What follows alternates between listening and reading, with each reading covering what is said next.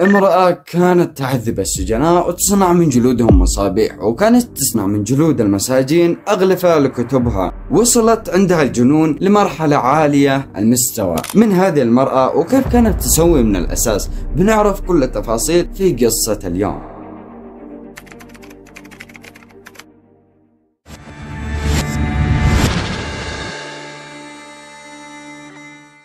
السلام معكم عبود ماكسنج ومقطع جديد. خذ لك سناك أو أي شيء تحب تشربه. ويلا ها. تبدأ القصة مع بنت اسمها إلسي كوخ. خلينا نسميها إلسي في 22 سبتمبر من عام 1906 ولدت إلسي في مدينة دريتسن الألمانية. وكانت إلسي تتميز بهدوء وجمال غير طبيعي وفي سن 15 سنة التحقت بالمدرسة عشان تتعلم المحاسبة المالية والتحقت بعد ذلك بالعمل ككاتبة بيانات في الوقت اللي كانت تتعافى فيه ألمانيا من أزمتها المالية بعد الحرب العالمية الأولى. وفي عام 1932 التحقت بالحزب النازي الألماني.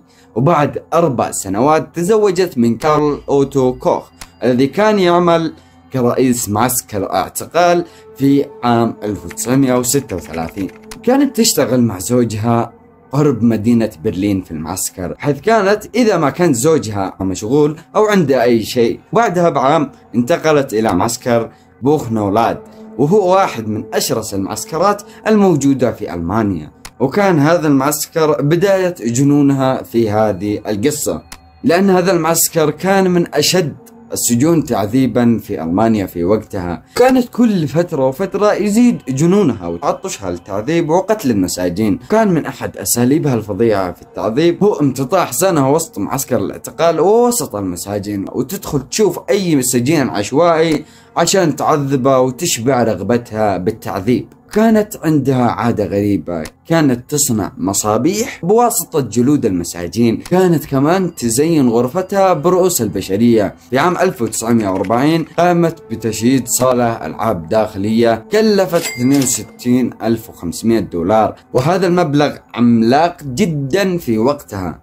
وهذا الفلوس ما جابتها من أي مكان كانت تستولي على ممتلكات المساجين اللي تقتلهم. وفي عام 1943 ألقت الشرطة الألمانية القبض عليها وعلى زوجها بتهمة الثراء الغير مشروع. يعني كيف؟ من وين جات ثروتكم هذه بدون أي سبب فجأة من العدم؟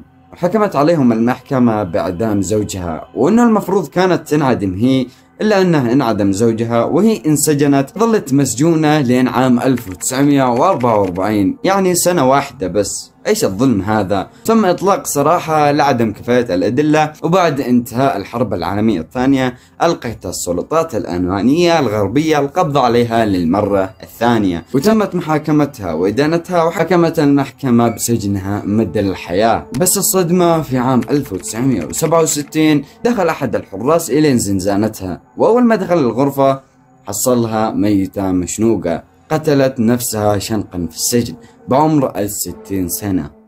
ولين هنا نكون وصلنا لنهاية القصة. واعتذر عن القطعة أشوفكم في المقطع الجاي. لا تنسى تسوي لايك وتشترك. ومع السلامة.